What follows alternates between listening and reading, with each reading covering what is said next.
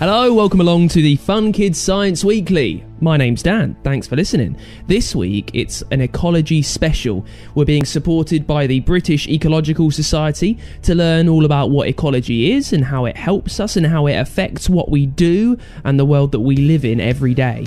We'll chat to a proper ecological expert in just a sec who will explain it all. He'll go through the whole thing for us. Uh, basically, ecology is looking at how living things affect each other. Whether human, animal, or plant life, they all affect the balance of the ecosystem around us. Uh, It's also about the weather, changes to the planet, pollution, and even pandemics, and about how all of those affect the world too. It's about finding out how living things and the environment work together. Now, one of the most important ecological issues right now is to do with climate change. So let's start off there. Let's hear from one of our favourite experts from Fun Kids HQ on this to tell us more. Here's Marina Ventura. Marina Ventura's Climate Explorers. Hi there, Marina Ventura here. I love finding out about the natural world, and that includes the Earth's climate. We know that weather can change from one day to the next, but climates can change too over the time span of years, centuries, or even longer. So, I'm on a mission to fill MapApp with the latest climate information with the help of some awesome climate explorers. Come on then, let's go! Earth is very old. Four and a half billion years old, in fact. It can be really hard to get your head around such a big number, especially as humans have only been around for a tiny amount of that time. That said, I bet you know a bit about how life on Earth has changed. Here's a clue. You know about dinosaurs, right? Luckily, we don't need to worry about them anymore. Well, just as types of life on Earth have changed over time, so has the global climate. Come on, let's find out what's behind those changes. You've already hit on one thing behind changes, Marina. Types of life can affect the climate. When the Earth was very young, even though there wasn't as much heat coming from the sun, the planet was very hot and gassy. And that's because there weren't any plants to absorb these gases. These gases acted a bit like a blanket and stopped the heat escaping, so air temperatures went up. As life on Earth developed, plants evolved and grew in number. As they were able to absorb gases like carbon dioxide, they helped reduce the blanket effect and cooled temperatures down. And temperatures cooled down. For the last few million years, the sun has been causing climates to change. Stars like the sun get hotter as they age, and today the Earth gets more heat from the sun than it did when life was starting to develop on our planet. And the sun itself is always changing. Giant dark spots called sunspots are always moving across its surface, causing the sun to give off slightly more energy, which makes the Earth a bit warmer. So, what else makes climates naturally change? Well, something else that comes in cycles is all to do with the Earth's orbit, the way it moves around the sun. The shape of the orbit changes gradually from a circle to more of an oval in a cycle that lasts about a hundred thousand years. This makes the Earth move further away from the Sun at times, so less of the Sun's energy reaches the planet. The Earth also tilts as it orbits, and that tilt can be bigger at some times than others. This means that parts of the Earth become closer to the Sun, and so hotter in summer, and others are further away, and so colder in winter. So, naturally, there will be cycles of different climates as the Earth's orbit changes, and as the energy the planet gets from the sun varies, as well as what kind of plants and animals are living. These are all reasons why the climate has naturally changed and will continue to do so. But don't forget, there are things which can affect climates which aren't related to our orbit of the Sun. Remember the dinosaurs? Good point, Mappy. You'll probably know that scientists believe the dinosaurs died out because a giant meteorite crashed into the Earth. The meteorite caused a dust cloud which blocked out the sun, causing temperatures to drop. Many living things on Earth died. Something similar happens when volcanoes erupt. Clouds of ash can fill the skies, sometimes for many years, blocking out sunlight and causing global temperatures to drop. Scientists have noticed that in the last hundred years or so, the climate has changed in other unexpected ways. Whilst we are in the middle of a naturally warmer part of the cycle, temperatures have risen much more quickly than they have before. This is because of the effect that humans have on the environment, and it's something we'll be finding out more about. That's right. All with the help of some real life climate explorers. Come on, Marina, load me up. Good job, Mappy. See you soon, everyone. Marina Ventura's Climate Explorers, supported by the Natural Environment Research Council, the science of the natural world. Find out more at funkidslive.com slash marina. Now, here's the deal with this, right? We're doing two ecology specials, one now this week, the one that you're listening to. We'll also do one in a few weeks' time. So, ahead of that one, I'd love some more of your science questions, by the way. Uh, they can be ecology themed if you fancy. If you've got any questions about the way that the world works, how animals, humans, and plants interact with each other on the planet, uh, if, you, if you're wondering how lockdown is affecting the ecosystem, maybe you're curious about climate change, uh, let me know your question and I will do my best to figure out the answer. The way that you do that is by leaving it as a review over on Apple Podcasts. That is what Will J has done. Hey, Will. Also, hello to Jaden, to Flandoodle, to Poodle Face Snake. I mean, as you can see, your names on Apple Podcasts, they can be extremely silly. I don't mind what you call yourself. I just want to know your name. You need to leave it there. Also, drop us five stars because that will help me see it. And there's a little comment box at the bottom. That is where you write your review. Head to the Apple Podcast Store, find the Fun Kids Science Weekly, and let me know your science question. It's the Fun Kids Science Weekly. It's one of our ecology specials and hoping to, to bring it to life for us and let us know a little bit more about the world of ecology. We've got Dr. Yosef Araya on the phone. He's a member of the British Ecological Society. Hey, Yosef. Hello, Dan. Well, I think we'll start. What type of things do ecologists learn about generally? What's the general field of study? Uh, ecologists come in various uh, roles. In fact, you might think of an ecologist as someone who is studying about the living side of uh, things on our planet. So they could be studying plants, they could be studying animals, they could be studying fungi, and they study it how it relates to the overall environment. In fact, pretty much anyone who is working on the interface between Earth and its living things can be called an ecologist. So you may have a farmer who can be an agroecologist, and you may have uh, someone in the jungles of the, the tropics looking at uh, monkeys in the treetops, or you can have a microbial ecologist who is looking at how little bugs make our grass grow greener, for example. So they can be various roles for them. So it's hugely varied there, Yosef. It seems to be work that is very much centered on what's happening now. How much can we learn about the future and how the world might look in the future when we study ecology? Well, understanding the interrelationships is actually very, very helpful for our future plans. It's just like that if you know how the grass, let's take a, premier, a premiership football pitch, grows, it might help you to understand how it might change. It might uh, be when it gets too warm or when it is a dry summer so it's very much useful understanding it in the short term, but also in the very long term. If you think about it, what would happen if our uh, climate gets warmer in the coming hundred years or so? So it's very much about, it's just like history. It's not only learning from the past, but also learning to look forward into the future and be ready for it. And you've spoken to us just a second ago about all the different kinds of ecologists that there are what are the, the skills that almost all of them have? What do, what do, what do ecologists have in common? Ecologists tend to have uh, generally the curiosity to observe and to look at things. And most ecologists you will find out end up exploring things outside. Uh, whether it is in their own local environment.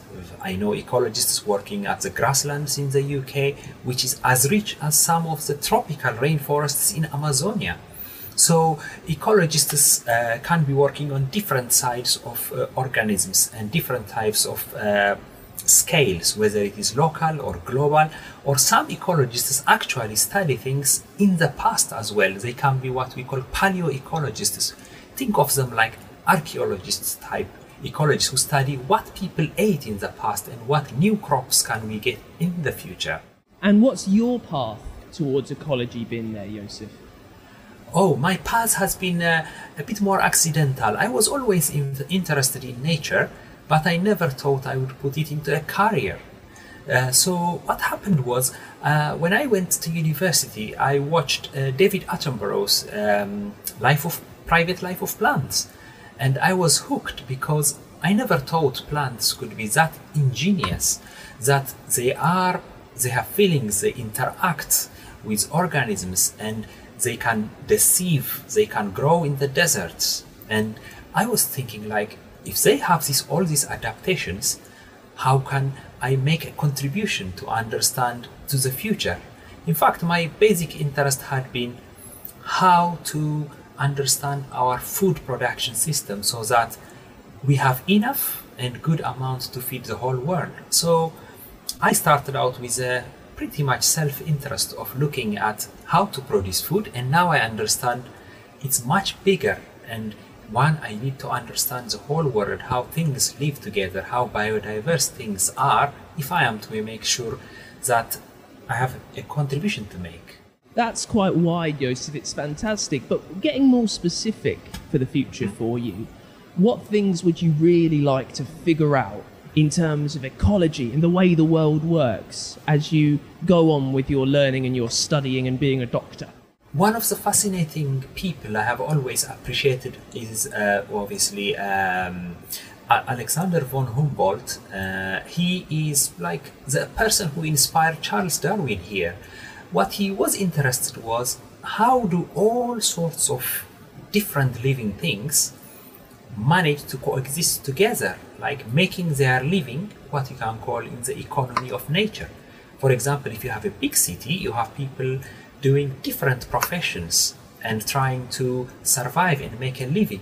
In that case, our rich biodiversity of living things, they manage to coexist. Like in a field, you might see grass just being green, but actually, if you look closely, there can be let's say 20 or 30 types of grass living in just one meter square, basically on the tabletop.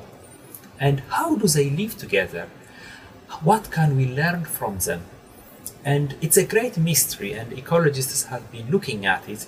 And uh, I'm very keen to, for example, how do you promote one if you want to grow a specific crop? Do you change the water or do you apply fertilizer? Or how do you make it full of wildflowers. So I'm interested to know how they live and then how we can manage them, especially in a sustainable way, so that we can enjoy them not only now but also for future generations. So my interest has been on the key things what makes coexistence and what makes sustainability. And sustainability, particularly, is so important as we, we kind of move through with the current climate crisis and, and getting on with our overpopulated planet. Dr. Yosef Araya, thank you so much for joining us. You're most welcome. Now, in this week's Dangerous Dan, you can hear how cow farts are changing the planet. Before that, here's some very quick ecology to think about. Now, we've heard how ecology is, is all about how humans and animals and plants affect the balance of the world. And it's really important to remember that we're a part of that.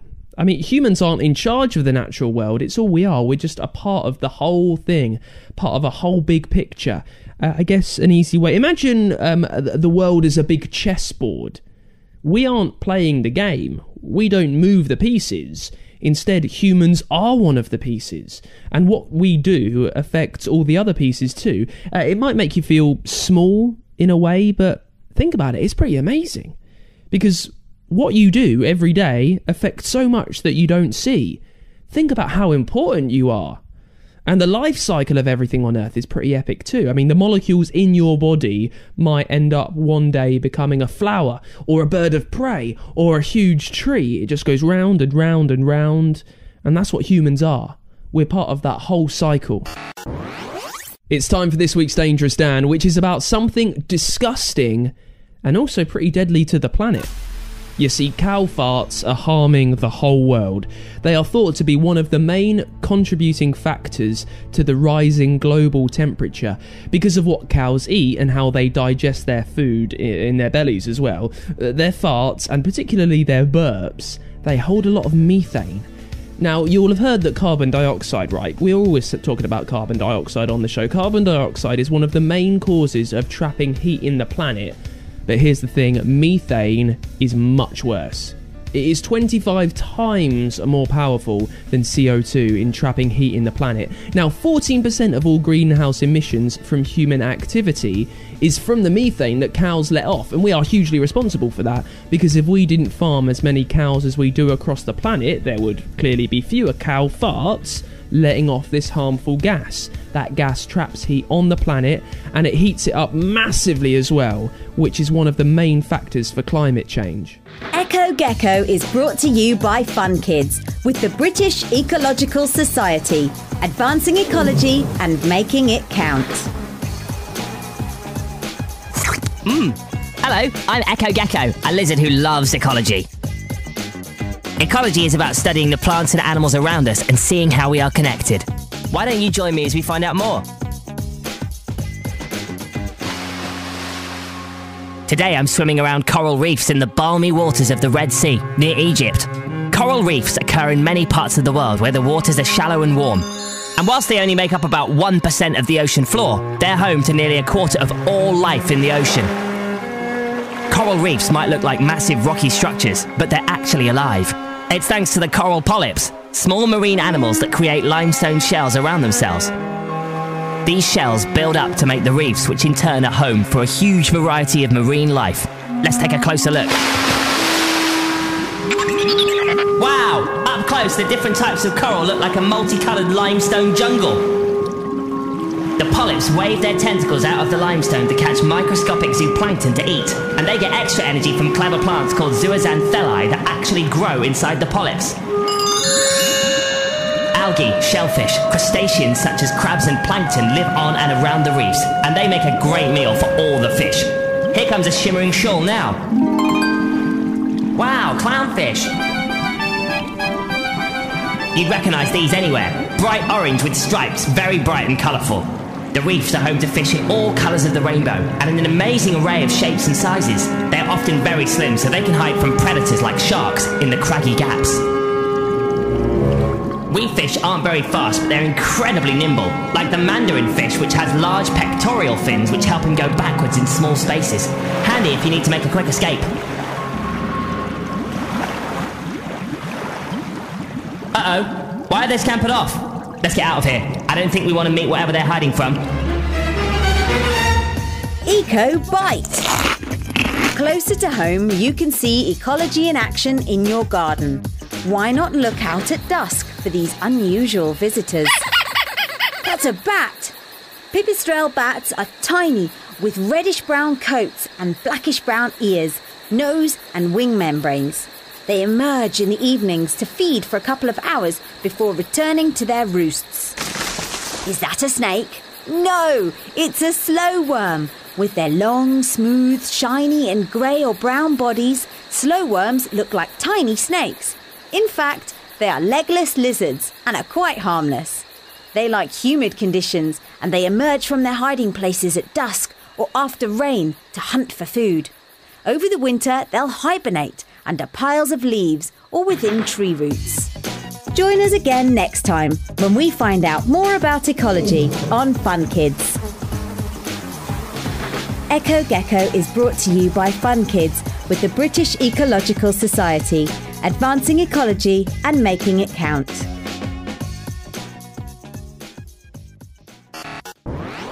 It's the Fun Kids Science Weekly. Now, we've spoken about a lot of ecology in these last specials. Uh, and now we're thinking about our place in the world because we are humans. We're at the top of kind of our food chain, really, but there's a lot of other creatures that are out there and we impact on them a lot.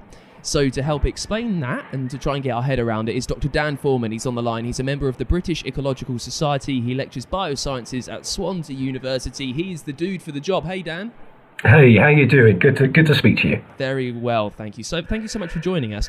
Now, I said there that humans are uh, kind of top of our part of the food chain, aren't we? Really. Um, but we need to pay more attention to our place in the world. So, can you just try and expand on that? Try and run through all the different species that are around us and maybe how we affect these creatures. Oh, absolutely. I mean, the world is an amazing place, and we're, we're really lucky to see such wonderful biodiversity. That's what we call the diversity of life on this planet. And all life on this planet exists to exist, uh, and it's a wonderful thing to see. And we're part of that, uh, part of this evolutionary continuum as well of constant adaptation and change as nature tries to come up with new blueprints for animals and plants and fungi that can adapt and survive better in conditions. Um, unfortunately, we humans are a very large impact on the natural environment, largely because there's so many of us. If you consider in 1900 there was maybe 1.6 billion human beings today, we're, we're pushing 7 billion now. So you can't help but have a, an impact on the natural environment around you, be that through just building uh, urban structures, factories, housing, but also the supply chains, the networks that connect us all as well, and agriculture, which takes up a, a, phenomenal amount of land as well. So we encroach upon nature very, very frequently, and as a consequence of our population size. Now, this this is all very well, but uh, for humans, it, it, we we're very fortunate to be humans and have this awareness of the world around us. But there are many forms of life on this planet that actually fulfil very, very important um, functions that we benefit from.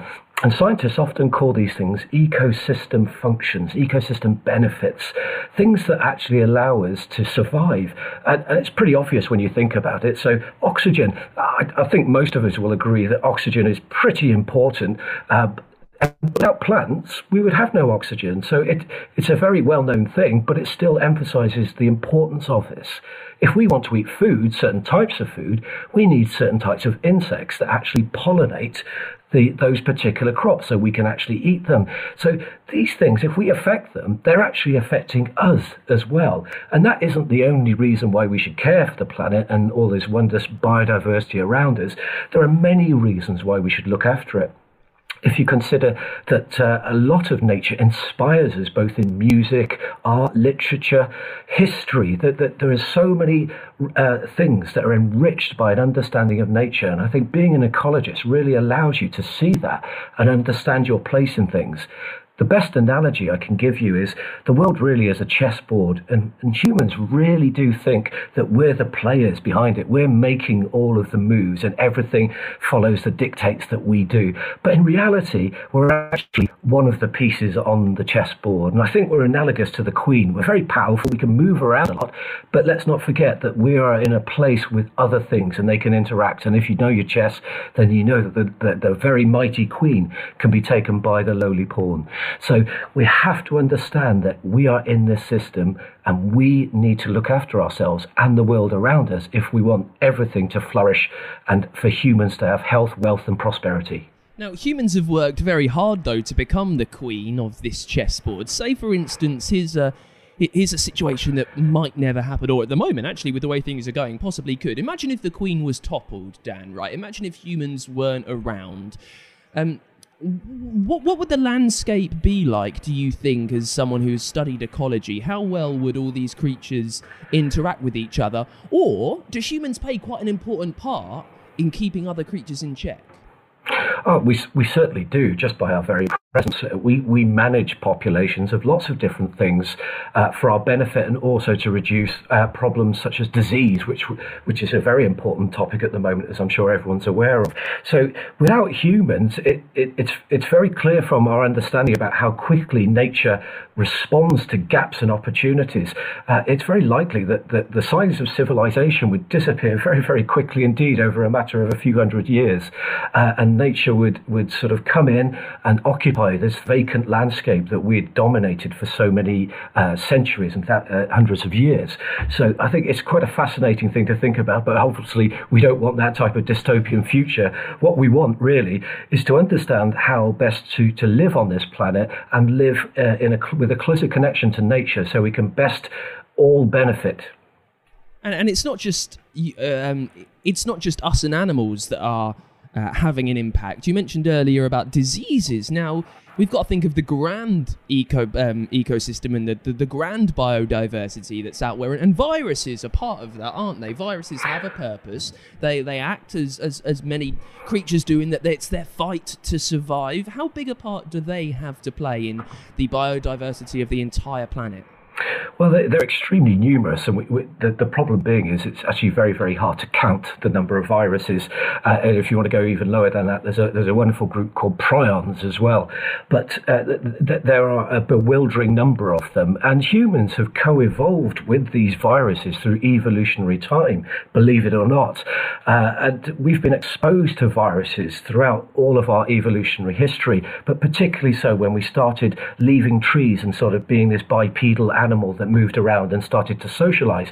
That was really when we started to experience uh, encountering a lot of these uh, very amazing organisms whilst they are unpleasant to us and do occasionally cause significant harm to us, uh, there are many things out there that have very, very important ecological functions.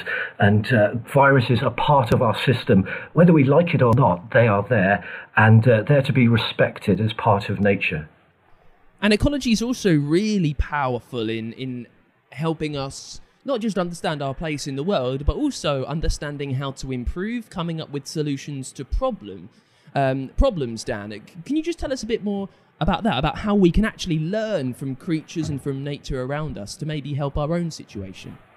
Well, I think a, lot of it is learning how to live with nature and how to reduce the, the impact that such a large number of humans actually have on the planet. That, that's really one of the greatest challenges that we have.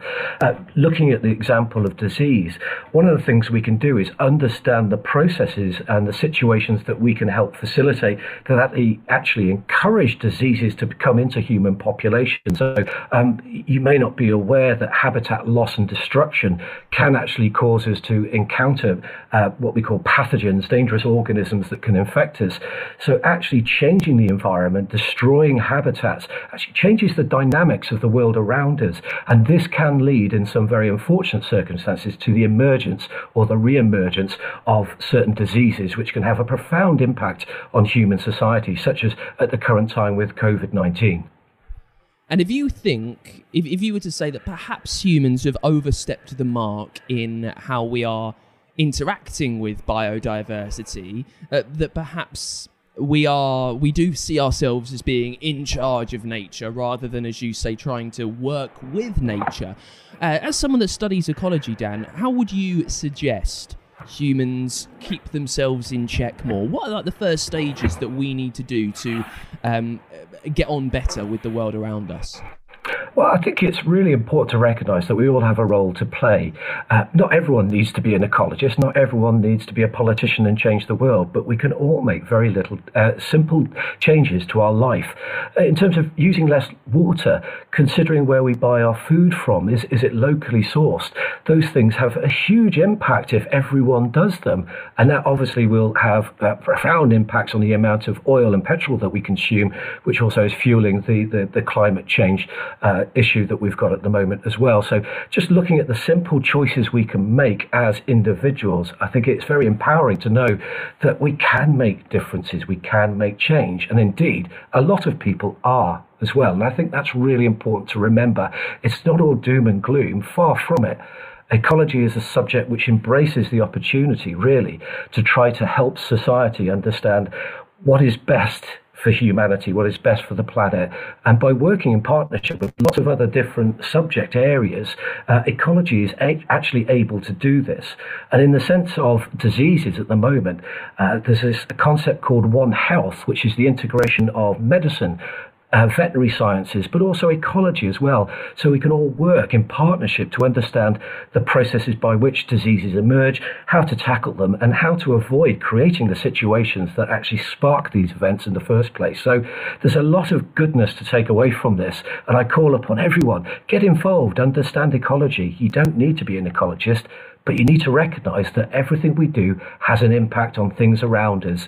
And sometimes that's good, and sometimes that's bad. And when it's uh, bad, we need to work together to find solutions.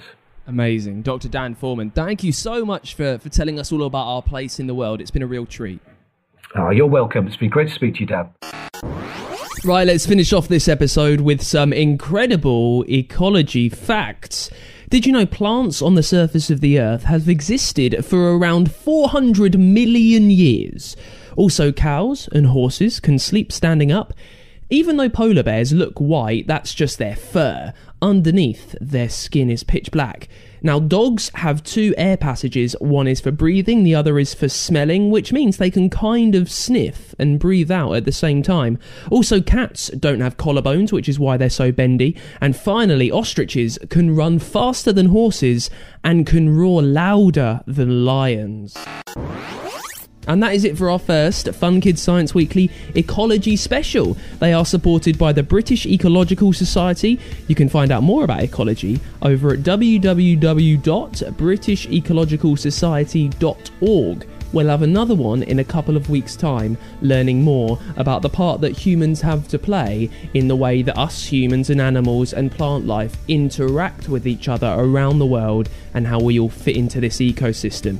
Now, if you've got a science question uh, that you want answered on the show, you need to leave it for us as a review over on Apple Podcasts. Uh, type Fun Kids Science Weekly in there, it will come up leave a review. That's where you put your question. While you're on Apple as well, it's one of the brilliant places that you can hear all of the science series that we've done, all of our podcasts. Uh, you can hear them on there. You can also hear them wherever you normally listen to your shows. They're on Spotify, they're on Google. You can also get them on the free Fun Kids app and at funkidslive.com. And Fun Kids are a children's radio station from the UK. You can hear us all over the country on your DAB digital radio and at funkidslive.com